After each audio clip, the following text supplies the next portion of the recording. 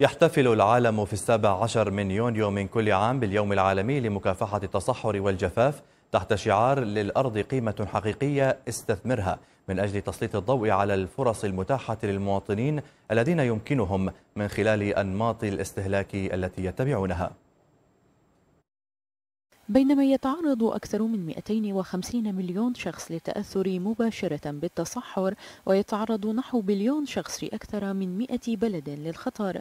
يحتفل العالم في السابع عشر من حزيران يونيو كل عام باليوم العالمي لمكافحة التصحر والجفاف سويا لتعزيز الوعي العام بالجهود الدولية المبذولة في هذا المجال.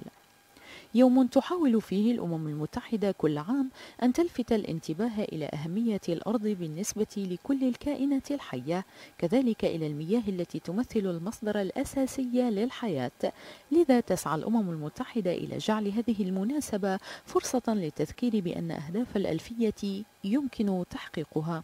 خاصة الحد من تدهور الأراضي واستغلال المساحات الأرضية بطريقة تضمن سلامة الأراضي ودوامها وصلاحيتها لنا وللأجيال المقبلة. المتحدة بالمناسبة هذا العام تحت شعار للأرض قيمة حقيقية استثمرها مؤكدة على أن خياراتنا هي التي تحدد السيناريوهات المستقبلية لتحقيق النمو المستدام.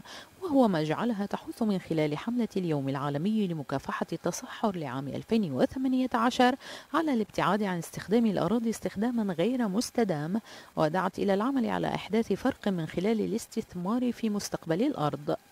يشار إلى أن التصحر ظاهرة تصنف بين أكبر التحديات البيئية في عصرنا ولكن معظم الناس لم يسمعوا عنها أو لا يفهمونها.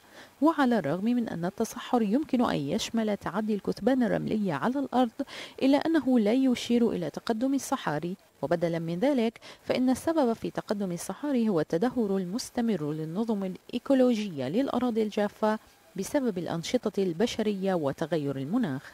فهل سنعي يوما أهمية الأرض وكيفية استخدامها بطرق سليمة من أجلنا؟ بداية ومن أجل أبنائنا لاحقا.